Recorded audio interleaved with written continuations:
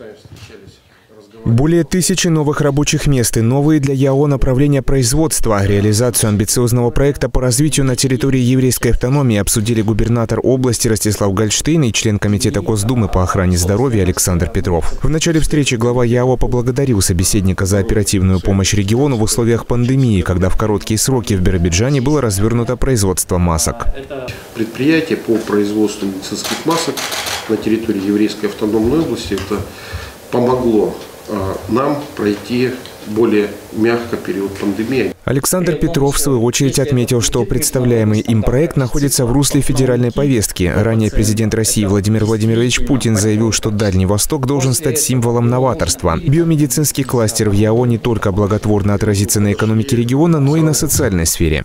Мы еще с вами летом определились, что самый большой приоритет – это здравоохранение и рабочие места – которые необходимы еврейской автономной области. И исходя из моего опыта работы а, более чем 20 лет, я, выполняя поручения президента, создавал на Урале биомедицинский кластер – Сейчас это уже огромная развитая структура.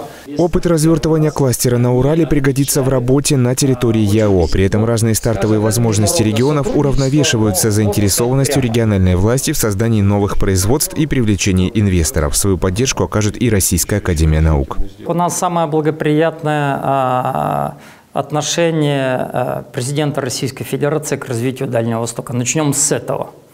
Я здесь оказался э, по собственной воле, но по предложению, скажем так, от которого нельзя отказываться. Нам очень важно, чтобы мы здесь использовали возможности Китайской Народной Республики, наших соседей, и возможности той российской промышленности, с одной стороны, с другой стороны, потребности российского здравоохранения. По словам Александра Петрова, необходимая предварительная работа по оценке возможности реализации проекта уже ведется. Все мероприятия проводятся в плановом режиме. Для осуществления контроля будет сформирован наблюдательный совет, куда войдут представители научного сообщества, правительства области, представители инвесторов. Последние уже проявили свой интерес к проекту. Вячеслав Пасманик, Константин Земляникин, Павел Славин, Новости 21.